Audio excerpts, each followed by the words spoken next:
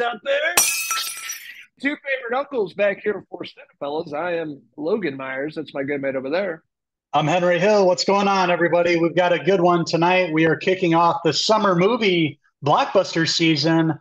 What better way to spend our time than with the dreamy Ryan Gosling? And Emily Blunt's not too bad either. That's right. We were talking about David Leitch's brand new, based on the old TV show from back in the 80s, I believe, 70s and 80s. It's called The Fall Guy. One last stunt.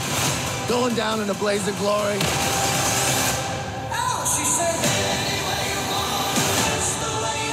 That's right. We're back. One of the most anticipated films of the year. Something I've been super excited for, being a huge Ryan Gosling fan. Everything he's in, different characters he plays, comedic all the way to dramatic. He's always really fantastic. This time around, he plays a down and out stuntman, has this accident, it's not working in the movie business anymore, and he's tasked with finding the missing star of his ex girlfriend's film, which is, of course, played by the lovely Emily Blunt. She is lovely, and Ryan's not bad on the eyes either, is he? He's had a hell of a couple of years here, coming off of last summer's um, Barbie, of course, playing Ken, and he sure was Kenough in that. He even sang at the Oscars uh, this, you know, a couple months ago. Just having a hell of a time, and now starring in his own action franchise. Awesome job from uh, Ryan Gosling. He's completely likable in this. He's the leading man, and Emily Blunt plays, uh, you know, a movie director who's always had a thing for Colt, and Colt's had a thing for her ever since they worked together on this movie.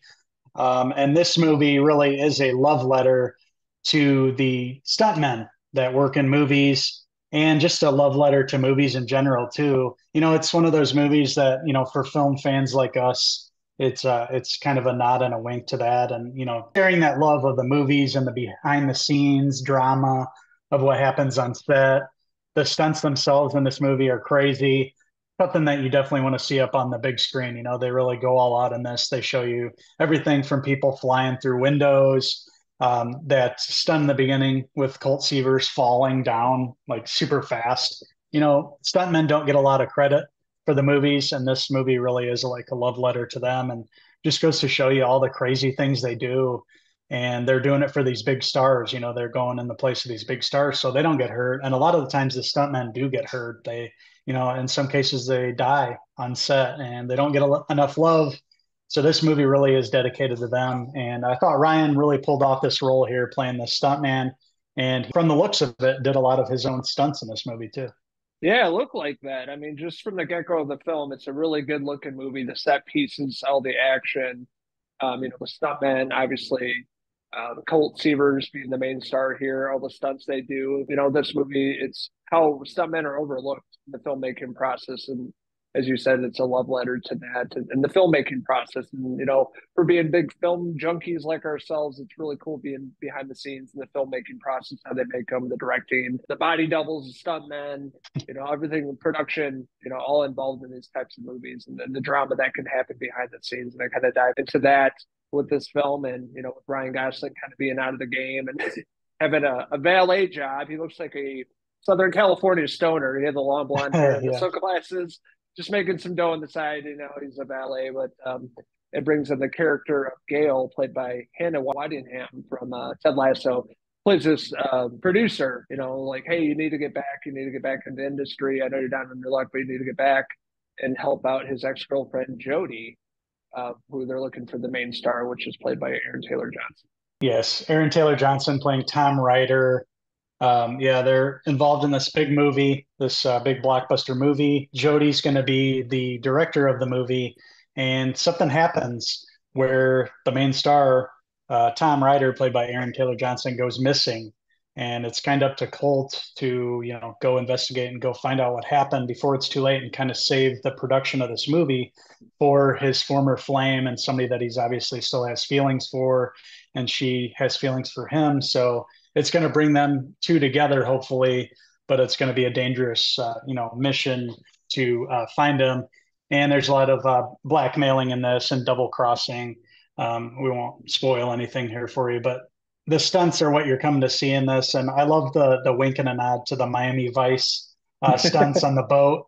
that whole scene was really cool. He's handcuffed behind his back and he basically steers this powerboat out on the water. There's a ramp. He has to jump it. And uh, the stunts in this were really cool. They're they're really set up well, and they just keep getting bigger and uh, more dangerous as the movie goes on up until you know the final stunt, which is you know really awesome. Uh, just a, a, fun movie and a fun franchise starter.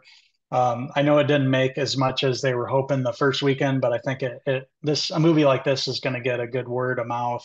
Just how fun it is and likable the stars of the movie were.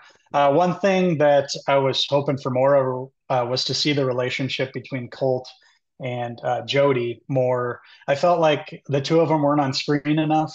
Like they had some good moments together, but it just feels like they could have used maybe 10 to 15 more minutes of screen time together just to really get that chemistry going. You know, you, you could tell that they liked each other or whatever in the scenes and, and all that. And they're both good looking people, obviously, but a little more fleshed out between the two of them, it, it would have made it a little better. But uh, as far as the stunts and everything that you're going to the movies to see this for, it delivers in every way possible. Uh, Winston Duke is another star of this. Um, involved in the stunt team. He's he's great in this too. I noticed Teresa Palmer's in there, and it's got a good cast overall. Like you mentioned, Hannah Waddingham from Ted Lasso playing a different role than we're used to seeing her. Obviously, she literally goes dark in this from blonde hair to uh, brunette, so she looks a little different. Um, but uh, yeah, just a fun movie overall, and uh, something that you want to see at the theater for sure. This is a, a fun movie, and it delivered exactly what I expected it to. No more, no less, and uh, a definite thumbs up for me. This is a good way to kick off the summer blockbuster season. You have everything that you want in a film going into summer. Action has our storyline and the characters. It's funny. A lot of really great funny scenes in this movie that made me laugh out loud more than I expected. Uh, of course, the action and the ending was awesome. The performances here, Ryan Gosling and Emily Blunt, were incredible. Like you said, just needed a little more screen time together, but I thought they were believable. They had some good chemistry together. And of course, the supporting cast across the board was really fantastic. Hannah Waddingham, Winston Duke, huge fan of his, massive dude. He was really great in this. And uh, the list goes on and on. Uh, another really great aspect of this film that I really enjoyed right from the get go was the music, the Kiss song that was kind of reoccurring throughout the mm-hmm. movie, mm-hmm. and of course the whole scene with one of my favorite artists right now, T Swift. Aww. All my Swifties out there, Ryan Gosling jamming that has a, a, tear come down, and you know Jody comes out. She's like, "Are you listening to Taylor Swift?" No, I can totally relate to that. So it's really funny scene. Uh, but really, you're gonna go see this movie, especially on the big screen for all the action, uh, all the great uh, stunt scenes and everything. Gosling goes here, gets his ass beat, trying to find Tom Ryder's character, and of course, all his crew, and he's just a lot of uh, great fight sequences. Kudos to Mr. Gosling for knocking all these stunts out. It looked very realistic, and yeah, a great time at the movie theater. A good movie to kick back, relax with the family, have some popcorn. So that being said, I'm going to give the Fall Guy, currently playing in cinemas across the globe, I'm going to give it a four out of five. Colt Seaver's hairpieces. Great performances, great chemistry, great comedy, like you mentioned. Yeah, tons of fun parts in this. And Ryan Gosling has mentioned, you know, wanting to take less serious acting roles because we've seen him a lot in his young career playing these like really serious, brooding roles.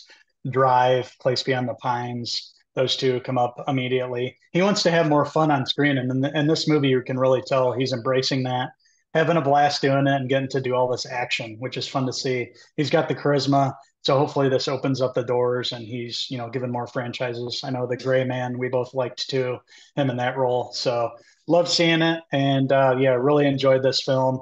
Music, action, it's got everything, a little bit of everything stirred into the pot. So with that being said, I'm going to give the Fall Guy I'm going to give it a four out of five Emily Blunt hair pieces.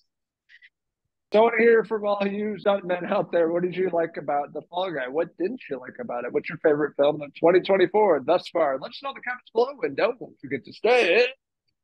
Subscribe. Also, check out these wild uncles on Facebook, X, and Instagram, and our website, cinephellas.com for the latest, greatest TV movie news and reviews it's the time of the year that we've been waiting for the summer blockbuster movie season, like a movie that we've been looking forward to pretty much every week from now until the end of summer. You know, and TV too, all these shows coming on. It's exciting, you know, to be, you know, movie and TV junkies. we're going to be doing this each and every week. We're going to be back with you, giving you guys a review, letting you guys know what you should definitely go check out and what maybe to stay home for. Uh, but thank you guys for watching our review of the first summer blockbuster of the season, The Fall Guy. And until the next CinePhellas movie review, I'm Uncle Henry Seavers. And I'm Uncle Logan Taylor Johnson signing out until the next movie review. Jeez, cut.